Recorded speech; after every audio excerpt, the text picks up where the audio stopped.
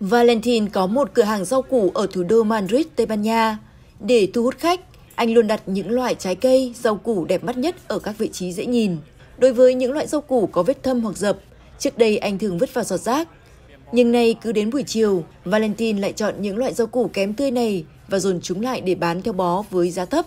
Bất ngờ là sản phẩm này lại rất được người tiêu dùng ưa chuộng. Hiện giá các loại rau củ tăng trung bình từ 15 đến 20% so với cùng kỳ năm ngoái. Nhu cầu vẫn rất lớn, nhưng người tiêu dùng không có đủ tiền để mua các loại cao cấp. Theo dữ liệu của Viện Thống kê Quốc gia Tây Ban Nha, giá rau và đậu tại nước này đã tăng 18% trong quý đầu tiên của năm 2023 và giá lương thực chung tăng 15,7% vào năm 2022, mức cao kỷ lục kể từ năm 1994.